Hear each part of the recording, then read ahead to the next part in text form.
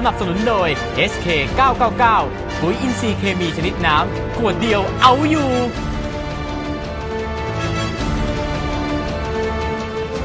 สวัสดีครับคุณผู้ชมครับเจาะลึกขายตรงนะครับพบกับคุณผู้ชมอีกเช่นเคยนะครับในวันเวลาเดียวกันนี้นะครับในช่วงที่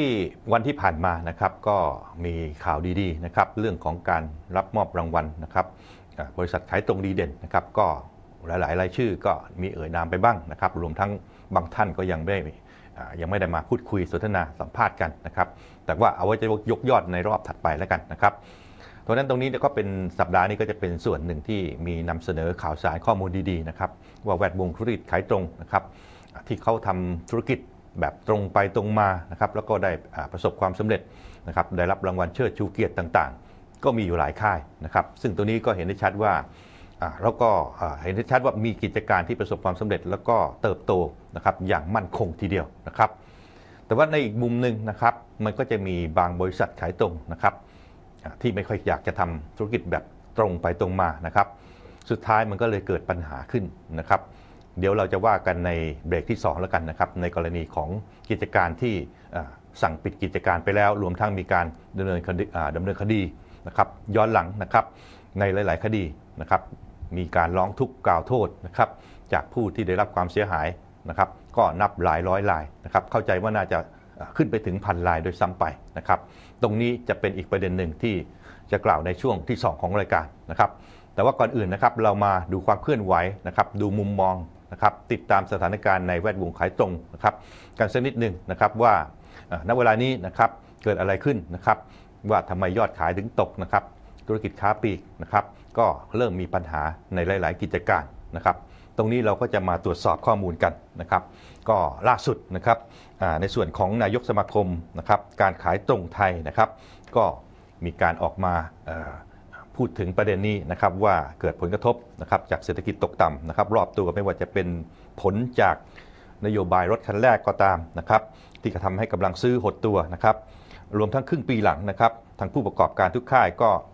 ต้องใช้งบประมาณกันมากขึ้นนะครับในการที่จะกระตุ้นยอดซื้อยอดอยอดจำหน่ายนะครับของแต่ละค่ายนะครับไม่ว่าจะเป็นการลดแลกแจกแถมนะครับก็มีการเตรียมมาตรการทางการตลาดเอาไว้กันเต็มเหนียวนะครับ โดยเฉพาะเรื่องของอการที่จะขยายตัวนะครับไปสู่ตลาด AEC ณเวลานี้เขาก็มีการมองว่าการพึ่งพาตลาดรอบๆบบ้านก็เริ่มที่จะเข้ามาเสริมได้ดีระดับหนึ่งนะครับก็คือมีการเติบโตถึง 9.7%นะครับ ก็เทียบกับการเติบโตในประเทศก็ถือว่าสูงกว่าณเวลานี้นะครับในส่วนของนายกิตทวัฒนะครับอ่าฤทธีราวีนะครับนายกสมาคมการขายตรงไทยนะครับเขาก็เปิดเผยว่าจากเศรษฐกิจที่เป็นอยู่ในขณะนี้นะครับก็เป็นปัจจัยที่ส่งผลทำให้ธุรกิจขายตรงไทยโดยรวมนะครับมีการประกอบการที่ไม่เป็นไปตามเป้านะครับเนื่องจากตลอดระยะเวลาที่ผ่านมานะครับกว่า 10 ตลาดนะครับ รวมธุรกิจขายตรงไทยด้วยนะครับก็มีอัตราการเติบโตเฉลี่ยนะครับ7-10%นะครับแต่ว่าจากครึ่งปีแรกที่ผ่านมาผู้ประกอบการแต่ละรายมีการเติบโตเพียง 4-5%เท่านั้น จึงคาดว่าธุรกิจขายขายตรงไทยในปีนี้ จะมีอัตราการเติบโตเพียง 5%เท่านั้นนะครับ ซึ่งเทียบกับอ่าปี 2555 นะครับ ก็จะมีมูลค่าทางการตลาดอยู่ประมาณ 70,000นล้านเศษนะครับ ในปีนี้ถ้าขึ้นมา 5%ก็คงจะไม่น่าจะถึง 80,000 ล้านนะครับ นี่คือเป็นมุมมองหนึ่งของนายกสมาคมการขายตรงไทย ซึ่งก็สวมหมวกอีกใบหนึ่งในฐานะเป็นกรรมการนะครับผู้จัดการของบริษัทนะครับของแอมเวย์นะครับทีนี้สาเหตุที่ทำให้ธุรกิจขายตรงนะครับเริ่มมีการเติบโตการเติบโตที่ต่ำกว่าปกติ ส่วนหนึ่งเขาก็มองว่าเป็นผลมาจากภาวะเศรษฐกิจนะครับ โดยรวมนะครับรวมทั้งเศรษฐกิจโลกนะครับมีความผันผวนนะครับไม่ว่าจะเป็นในยุโรปสหรัฐอเมริกา หรือแม้กระทั่งจีนนะครับรวมทั้งการส่งออกนะครับของประเทศก็ขยายตัวได้ไม่ตามเป้านะครับ อันนี้ก็เป็นปัจจัยที่ส่งผลกระทบมาถึงเศรษฐกิจในประเทศด้วยนะครับ โดยเฉพาะแนวโน้มนโยบายรถคันแรกต่างๆนะครับที่เข้ามากระตุ้นเศรษฐกิจในช่วงระยะเวลา 1 ปีที่ผ่านมานะครับ ก็เป็นส่วนหนึ่งนะครับที่ทำให้ผู้บริโภค ถูกดูดกำลังซื้อจากตรงนี้ไปนะครับ ส่วนด้านอื่นๆนะครับเขาก็มองว่าภาพรวมทางธุรกิจขายตรงนะครับ ทั้งภูมิภาคอาเซียนนะครับในปี 2555 นะครับเขามีการพบว่ามูลค่ายอดธุรกิจเนี่ยเป็นจำนวนถึง 6.22%นะครับของมูลค่าธุรกิจเครือข่ายของทั่วโลกนะครับ ถือว่ามีการเติบโตที่ค่อนข้างดีนะครับ อีกทั้งยังมีการเติบโตจากปี 2554 นะครับ ถึง 9.7%นะครับ อันนี้ก็เป็นมุมมองหนึ่งนะครับ ที่เขามองว่าการขยายตัวในเรื่องของธุรกิจขายตรงในภูมิภาคอาเซียนนะครับ สูงกว่าการเติบโตในระดับโลกนะครับ ที่อยู่ที่ 5.4%เท่านั้นจากาภาพรวมดังกล่าวสมาคมขายตรงจึงเตรียมจัดงานนะครับสัมมนาครบรอบ 30 ปีนะครับภายใต้ชื่อ ปี30 ปี สมาคมขายตรงไทยนะครับธุรกิจเครือข่ายอาชีพแห่งอนาคตนะครับอันนี้ก็ถือว่าเป็นการ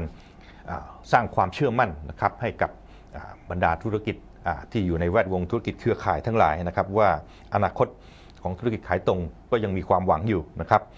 โดยวันที่ 15 สิงหาคมนี้นะครับจะมีนายกสมาคมขายตรงนะครับทั้งมาเลเซีย เวียดนามเข้ามาร่วมงานเพื่อแลกเปลี่ยนทัศนะและก็ประสบการณ์ต่างๆนะครับเพื่อให้ทุกๆฝ่ายในธุรกิจเครือข่าย นะครับทั้ง 3 ประเทศได้รับประโยชน์จากการเปิด AEC ในปี 2558 ในกิจอ่าในกิจทวัฒน์นะครับกล่าวว่าตลอดระยะเวลาที่ผ่านมาสมาคมขายตรงไทยมีการประสานงานกับผู้ประกอบการ และสมาคมขายตรงแต่ละประเทศในอาเซียนอย่างต่อเนื่องอยู่แล้วนะครับโดยเฉพาะในช่วงปี 2556 นี้ก็จะเห็นว่าแต่ละประเทศในอาเซียนจะเข้ามาประชุมร่วมงานครบรอบ 35 ปีขายตรงมาเลเซียนะครับ แล้วก็คาดว่าจะมีการสรุป เรื่องการจัดตั้งสมาพันธ์ขายตรงนะครับอาเซียนนะครับ ซึ่งตรงนี้ก็เป็นสิ่งที่ทางสมาคมาขายตรงาขายตรงไทยนะครับ ก็มีส่วนสำคัญในการผลักดันนะครับ ที่จะให้เกิดสมาคมเขาเรียกสมาพันธ์ขายตรงอาเซียนเกิดขึ้นนะครับ ก็เพื่อนำข้อมูลทางการตลาดนำอุปสรรคปัญหากฎระเบียบขั้นตอนต่างๆ ในเรื่องของการทำธุรกิจขายตรงระหว่างประเทศ มาหาลือ แล้วก็หาข้อสรุป แล้วก็วางกรอบระเบียบที่จะดำเนินธุรกิจร่วมกัน ตรงนี้ก็ถือว่าเป็นเป้าหมายที่สำคัญนะครับ เพราะว่าการรวมตลาดใน AEC จะเห็นได้ชัดว่ามีมีประชากรรวมกันก็ตกประมาณ 600 ล้านคนนะครับ เพราะฉะนั้นถ้าหากแนวทางการทำธุรกิจนะครับ ไปคนละทิศคนละทางนะครับ ไม่สอดคล้องกันนะครับ มันก็จะทำให้การเชื่อมโยง ระหว่างตลาดด้วยกันเนี่ยก็จะเกิดมีปัญหาได้นะครับ อันนี้เป็นรายงานสถานการณ์ล่าสุดนะครับที่สมาคมขายตรงไทยนะครับมีการเปิดเผยถึงข้อมูลต่างๆนะครับทั้งอัตราการเติบโตของธุรกิจรวมทั้งแนวทางการยกระดับพัฒนาอุตสาหกรรมขายตรงไทยนะครับเพื่อให้ก้าวไปสู่ความเป็นผู้นำในระดับอาเซียนนะครับนี่เป็นประเด็นหนึ่งนะครับ ส่วนประเด็นอีกเรื่องหนึ่งที่ดูจะไม่น่าเกี่ยวข้องกับธุรกิจขายตรงเท่าไรนัก แต่ก็ถูกโยงเข้ามาเกี่ยวข้องในเรื่องของธุรกิจขายตรงด้วยนะครับก็คือปัญหากรณีที่อาจจะเขาเรียกว่าเป็นมรดกตกทอดเชื่อมโยงไปถึงกรณีของลูกศิษย์ลูกหาของเนนคำนะครับ ซึ่งในเรื่องประเด็นหนึ่งที่มีการพูดถึงกันมากเวลานี้ก็คือเรื่องของอการจัดตั้งมหาวิทยาลัยสันติภาพโลกนะครับก็อย่างที่ทราบดีมีการถูกโจมตีว่ามีการเเป็นสถาบันที่ถูกต้องตามกฎหมายหรือไม่มีใบอนุญาตนะครับจากกระทรวง ศึกษาธิการรับรองหรือเปล่านะครับแล้วก็มีการมอบปริญญาบัตร ไม่ว่าจะเป็นปริญญาโทปริญญาเอกต่างๆ ออกไปมากมาย ตรงนี้มันจะยอมรับน่าเชื่อถือได้ขนาดไหน นี่คือเป็นประเด็นประเด็นหนึ่งนะครับที่หลายๆ ฝ่ายนะครับกำลังมองว่าพฤติกรรมของสถาบันนี้นะครับมี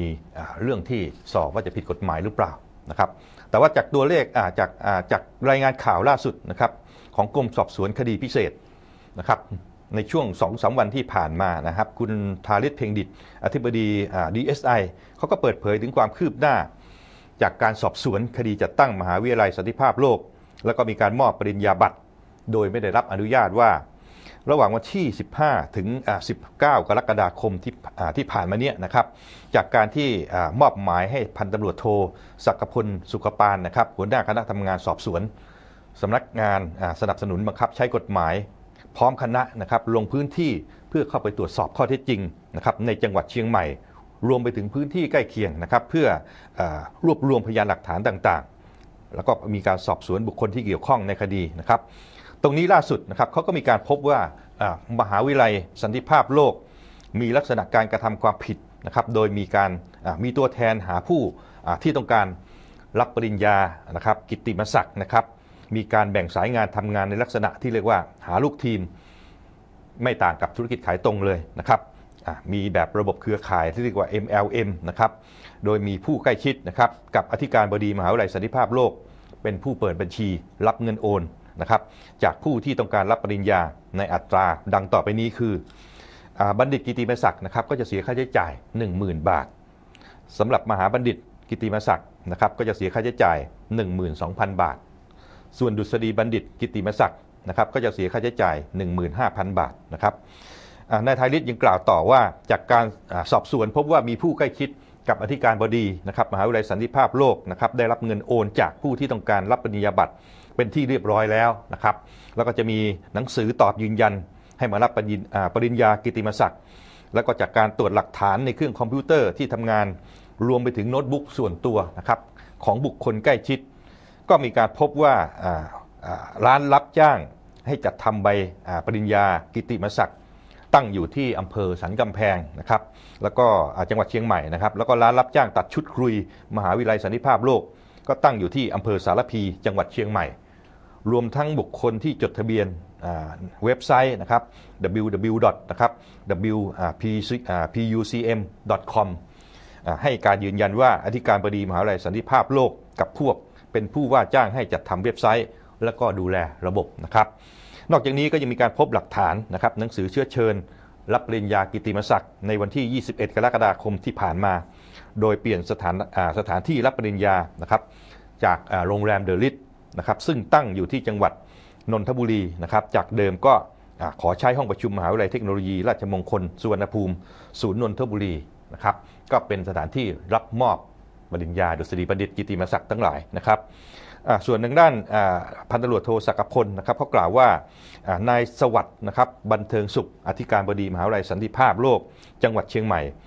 ยังคงยืนยันนะครับความบริสุทธิ์ที่ตัวเองได้ดำเนินการไป แล้วก็ยืนยันว่าในวันที่ 21 กรกฎาคม